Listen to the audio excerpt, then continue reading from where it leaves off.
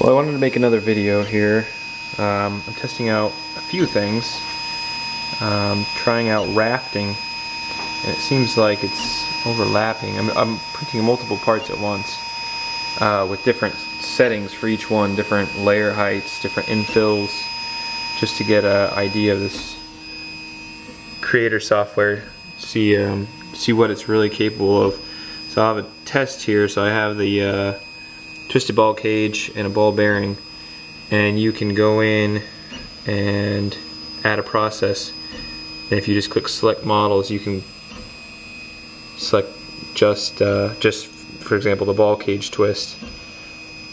Click OK. You can change the layer infill all that information just for that one and save it. And then when you go to prepare it'll ask if you want to do both at once and it'll make the G code for both and it'll print out in different different settings. So if you just wanted rafting for just that guy, or if you wanted at a higher density, etc.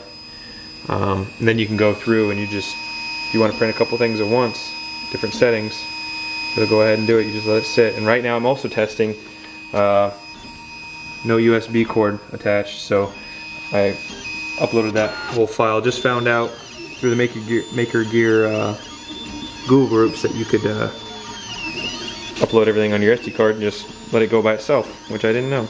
So, this rafting works. It's been kind of a pain in the ass to get them off the uh, the board. I also have uh, I also tried hairspray for the first time, so we'll see how that works. But I'll I'll update this here when this is done printing.